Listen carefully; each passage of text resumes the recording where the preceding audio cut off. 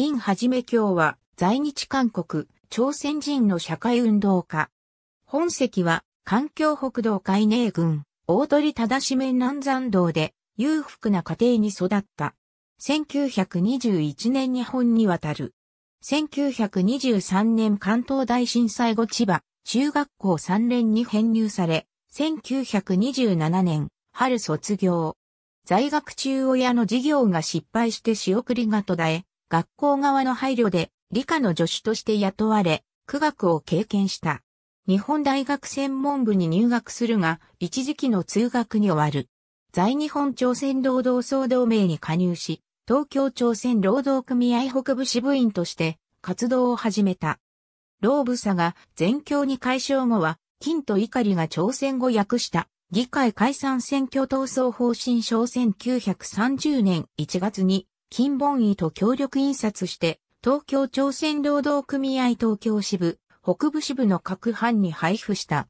これが原因となり4月4日、治安維持法違反容疑で在日本朝鮮労働、総同盟幹部らと共に検挙されたが、不起訴処分となった。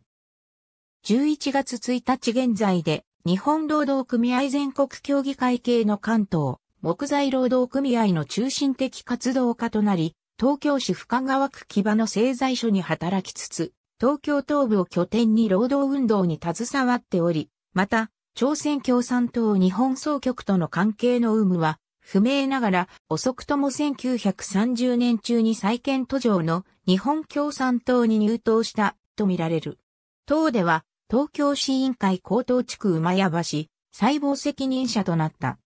やがて全共産下の日本土木建築労働組合結成に関わり、高等地区委員として積極的な活動をするに至る。全共組合員の30%を超える朝鮮人労働者の中で最も辛抱の厚い日本共産党員であった。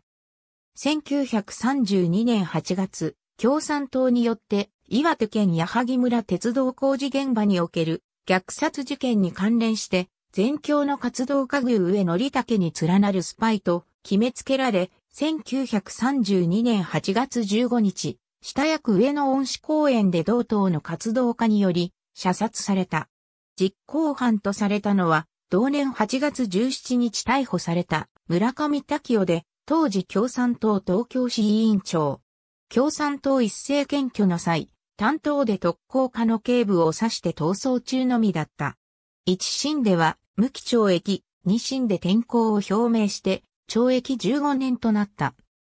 村上は獄中で、院は絶対にスパイではない。自分は取り返しのつかない誤りを犯した東中央にはスパイがいるに違いないと確信して死を落とした叫びを東中央の今野与次郎に伝えるが反応がなかったという。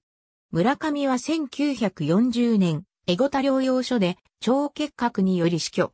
院をスパイと断定して射殺させたのは共産党史上最大のスパイと言われる飯塚光延べであったという。ありがとうございます。